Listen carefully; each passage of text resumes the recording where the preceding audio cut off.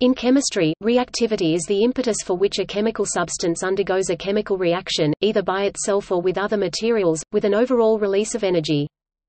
Reactivity refers to the chemical reactions of a single substance, the chemical reactions of two or more substances that interact with each other, the systematic study of sets of reactions of these two kinds, methodology that applies to the study of reactivity of chemicals of all kinds, experimental methods that are used to observe these processes, Theories to predict and to account for these processes, the chemical reactivity of a single substance reactant covers its behavior in which it decomposes forms new substances by addition of atoms from another reactant or reactants interacts with two or more other reactants to form two or more products. To chemical reactivity of a substance can refer to the variety of circumstances conditions that include temperature, pressure, presence of catalysts in which it reacts, in combination with the variety of substances with which it reacts equilibrium point of the reaction i.e., the extent to which all of it reacts.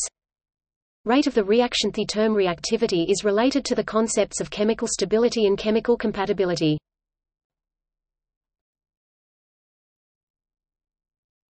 Topic: An alternative point of view. Reactivity is a somewhat vague concept in chemistry. It appears to embody both thermodynamic factors and kinetic factors, i.e., whether or not a substance reacts, and how fast it reacts. Both factors are actually distinct, and both commonly depend on temperature. For example, it is commonly asserted that the reactivity of group 1 metals Na, K, etc. increases down the group in the periodic table, or that hydrogen's reactivity is evidenced by its reaction with oxygen. In fact, the rate of reaction of alkali metals as evidenced by their reaction with water for example is a function not only of position within the group but particle size. Hydrogen does not react with oxygen even though the equilibrium constant is very large unless a flame initiates the radical reaction, which leads to an explosion. Restriction of the term to refer to reaction rates leads to a more consistent view. Reactivity then refers to the rate at which a chemical substance tends to undergo a chemical reaction in time. In pure compounds, reactivity is regulated by the physical properties of the sample. For instance, grinding a sample to a higher specific surface area increases its reactivity. In impure compounds, the reactivity is also affected by the inclusion of contaminants. In crystalline compounds, the crystalline form can also affect reactivity. However, in all cases, reactivity is primarily due to the subatomic properties of the compound. Although it is commonplace to make statements that substance X is reactive, all substances react with some reagents and not others.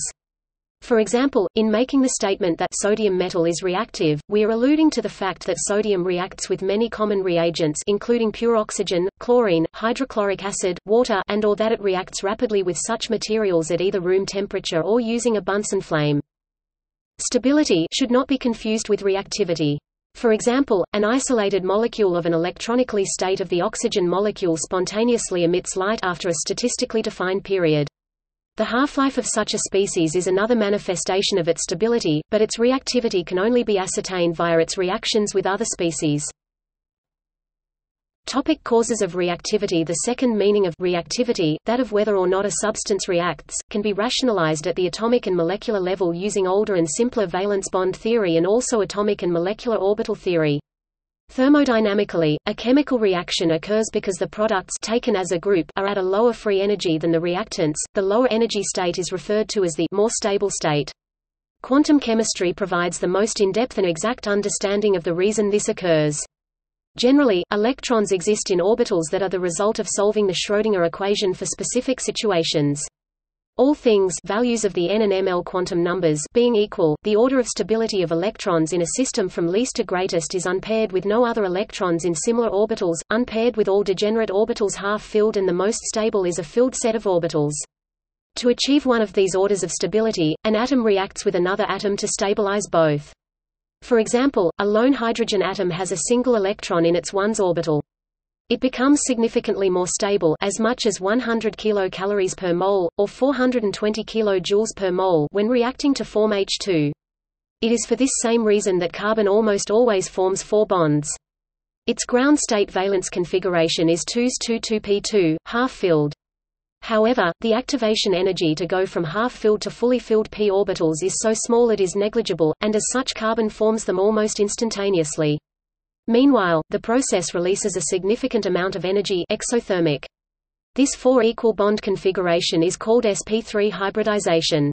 The above three paragraphs rationalize, albeit very generally, the reactions of some common species, particularly atoms. One approach to generalize the above is the activation strain model of chemical reactivity which provides a causal relationship between, the reactants' rigidity and their electronic structure, and the height of the reaction barrier. The rate of any given reaction, reactants products display style CE reactants to products is governed by the rate law. Rate equals K a display style text rate equals K C dot CE a uh, where the rate is the change in the molar concentration in 1 second in the rate determining step of the reaction. The slowest step A is the product of the molar concentration of all the reactants raised to the correct order, known as the reaction order, and K is the reaction constant, which is constant for one given set of circumstances, generally temperature and pressure and independent of concentration. The greater the reactivity of a compound the higher the value of K and the higher the rate. For instance, if A plus B C plus D display style C A plus beta C plus D then rate equals K A N B M.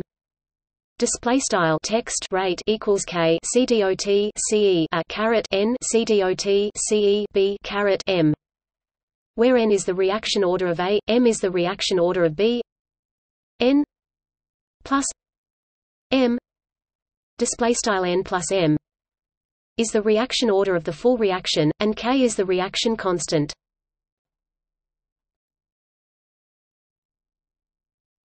topic. See also Catalysis Reactivity series Michaelis-Menten kinetics Organic chemistry Chemical kinetics Transition state theory Marcus theory Klopman-Salem equation